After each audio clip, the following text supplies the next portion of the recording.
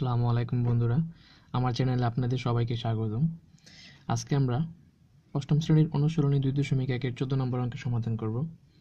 তো, বন্ধুরা, সাথেই থাকুন।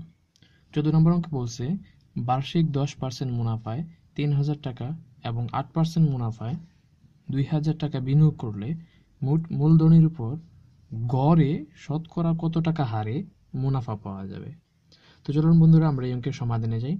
তো প্রথম দিকে বলছে যে দশ পার্সেন্ট মুনাফায় তিন হাজার টাকা এবং আরও একবার বলছে আট পার্সেন্ট মুনাফায় দুই হাজার টাকা।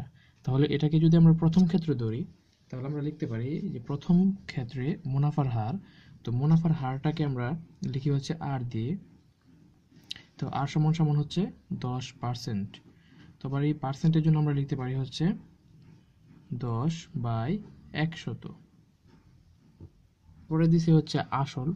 তো এখানে মুনাফা তিন হাজার টাকা। এই তিন হাজার টাকাটা হচ্ছে গিয়ে প্রথম ক্ষেত্রের জন্য আসল টাকা। তাহলে আসল আসল হচ্ছে পি তো পি হচ্ছে তিন হাজার টাকা। তিন হাজার টাকা। তারপর হচ্ছে সময়। এই যে বন্ধুরা, সময়।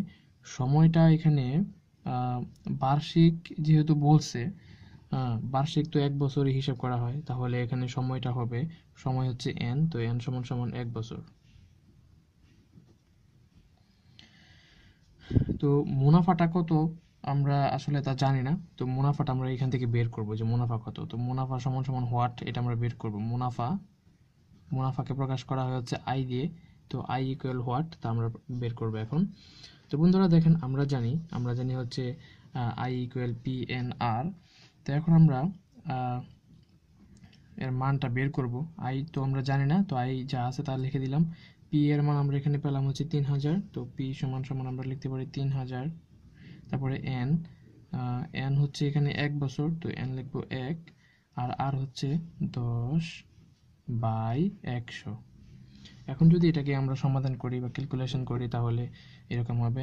একশো দিয়ে যদি তিনশোকে কাটি তাহলে তিন তিন আর দশ গুণ করলে আসবে হচ্ছে তিরিশ। অর্থাৎ আমরা মুনাফা পেয়ে গেলাম তিরিশ টাকা। সরি এখানে আমরা একটা জিনিস ভুল করছি। এটা আসলে তিনশো না, এটা হবে তিন হাজার। তো তিন হাজার হলে এখানে হবে তিরিশ, আর তিরিশ আর দশ যদি গুণ করি তাহলে হবে তিনশো টাকা।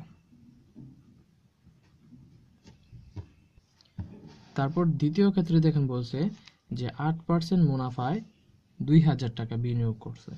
তাহলে আমরা দ্বিতীয় ক্ষেত্রে লিখতে পারি যে দ্বিতীয় ক্ষেত্রে মুনাফার হার আর সমান সমান আট পার্সেন্ট মুনাফার আর আট পার্সেন্ট আর আট পার্সেন্টের জন্য আমরা লিখতে পারি হচ্ছে আট ভাগের একশো একশো ভাগের আট। তারপরে আসল হচ্ছে পি তো পি হচ্ছে এখানে দুই হাজার টাকা, দুই হাজার টাকা। আর সময় সময় তো এখানে যেহেতু বলছে যে বার্ষিক, তাহলে এখানেও সময়টা হবে এক বছর তো এখন আমরা তো আগের মতোই ক্যালকুলেশন করব। আই তো পি হচ্ছে এখানে দুই হাজার। আর এন হচ্ছে এক বছর আর হচ্ছে একশো ভাগের আট। এখন কাটাকাটি করলে আসবে এখানে বিশ। আর বিশ আর আট গুণ করলে আসবে হচ্ছে একশত ষাট টাকা। তো বন্ধুরা, আমরা দুইটি ক্ষেত্রে মুনাফা নির্ণয় করলাম। এখানে মুনাফা একশো ষাট টাকা, আর এখানে মুনাফা পেলাম পাইছিলাম আমরা তিনশো টাকা। তো আমাদের মোট আসল ছিল কত টাকা? মোট আসল ছিল হচ্ছে আমাদের তিন হাজার টাকা আর দুই হাজার টাকা। হুম, তো আমরা এখন বের করব যে মোট আসল কত ছিল আর মোট মুনাফা কত হলো। তাহলে মোট আসল হচ্ছে তিন হাজার টাকা আর হচ্ছে দুই হাজার টাকা। এই দুইটা যোগ করলে আসবে হচ্ছে পাঁচ হাজার টাকা। এই পাঁচ হাজার টাকা হচ্ছে আমাদের মোট আসল। আর মোট মুনাফা হচ্ছে, আমরা পেলাম একশো ষাট টাকা, আর একটু আগে পেলাম হচ্ছে আমরা তিনশো টাকা। এই দুইটা যোগ করে দেবো, তাহলে পাবো হচ্ছে আমরা মোট মুনাফা। তাহলে মুনাফা তিনশো যোগ একশো ষাট। যোগ করলে আসবে চারশত ষাট টাকা। তো বন্ধুরা, এখন আমাদের প্রশ্নে বলছে যে, মোট মূলধনের উপর গড়ে শতকরা কত টাকা হারে মুনাফা পাওয়া যাবে? অর্থাৎ এই তিন হাজার টাকা এবং দুই হাজার টাকা তারা যে বিনিয়োগ করল, এই টোটাল মূলধনের উপর, হুম, গড়ে শতকরা কত টাকা হারে মুনাফা পাওয়া যাবে? অর্থাৎ আমাদের এখন বের করতে হবে মুনাফাটা কত? যখন আসল এই পাঁচ হাজার টাকা আর মুনাফা হচ্ছে চারশো ষাট টাকা। তাহলে আমরা তৃতীয় ক্ষেত্র দিয়ে লিখতে পারি। তৃতীয় ক্ষেত্র, আসল পি পাঁচ হাজার টাকা, মুনাফা আই চারশো ষাট টাকা।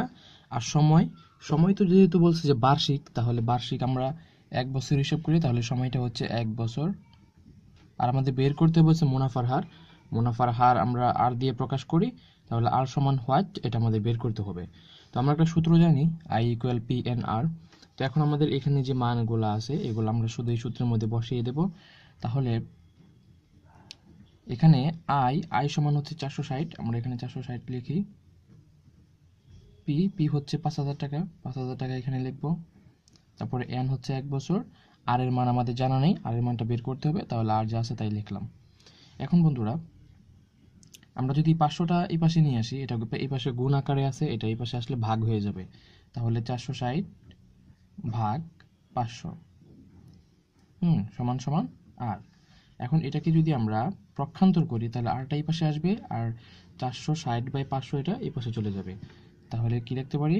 প্রক্ষান্তর করে আর সমান সমান চারশো ষাট বাই পাঁচশত এখন এটাকে যদি আমরা কাটাকাটি করি, হুম, তাহলে এরকম আসবে। একশো দিয়ে যদি দুই পাশে কাটে, তাহলে এখানে আসবে সি চল্লিশ আর এখানে আসবে সরি এটা তো পাঁচ হাজার পাঁচ হাজার এটা। তাহলে এটাকে কাটলে আসবে পাঁচশত একশো দিয়ে কাটলে। আর এখন যদি দুই দিয়ে কাটি, তাহলে এখানে আসবে তেইশ, আর এখানে আসবে আড়াইশো। তাহলে সর্বোপরি আমরা যেটা পাবো তা হচ্ছে তেইশ বাই দুশো পঞ্চাশ। তাহলে আমরা আর সমান পেলাম হচ্ছে দুশো পঞ্চাশ বাঘের তেইশ। তো আর হচ্ছে মুনাফা, এখন আমাদের বের করতে হবে মুনাফার হারটা কত ছিল? আমাদের প্রশ্ন চেয়েছে মুনাফার হার আর ইকুয়াল হোয়াট তাহলে মুনাফার হার, মুনাফার হারটা আমরা আর সমান পেয়েছি হচ্ছে কি তেইশ বাই দুশো পঞ্চাশ। তো এখন বন্ধুরা মুনাফার হার যেহেতু শতকরা নির্ণয় করা লাগে, এই কারণে আমরা এখানে একশো দিয়ে গুণ দিয়ে দেব। তো একশো দিয়ে গুণ দেওয়ার পরে আমরা যদি ক্যালকুলেশন করি, তাহলে রেজাল্ট আসবে এরকম যদি পাঁচ দিয়ে কাটি, যদি আমরা পঞ্চাশ দিয়ে কাটি, তাহলে এরকম আসবে পঞ্চাশ দুগুণে একশো পাঁচ পাঁচ পঞ্চাশে দুশো পঞ্চাশ। তাহলে রেজাল্ট আসলো তেইশ দিয়ে, এখানে আছে তেইশ আর এখানে থাকবে দুই, তেইশ আর দুই গুণ করলে এসছে চল্লিশ আর নিচে থাকে পাঁচ। হ্যাঁ এখন পাঁচ দিয়ে যদি ছেচল্লিশকে আমরা ভাগ করি, পাঁচ দিয়ে ছেচল্লিশকে ভাগ করলে কত আসবে? পাঁচ নয় পঁয়তাল্লিশ, এখানে থাকে এক এক দশমিক দিয়ে শূন্য দিলে পাঁচ দুগুণে দশ। অর্থাৎ নয় দশমিক, আমাদের রেজাল্ট হচ্ছে নয় দশমিক দুই পার্সেন্ট নয় দশমিক দুই পার্সেন্ট যেহেতু আমাদেরকে বলছে যে শতকরা কত হারে মুনাফা, তাহলে আমরা পার্সেন্ট দিয়ে আনসারটা লিখব। অতএব অতএব মুনাফার হার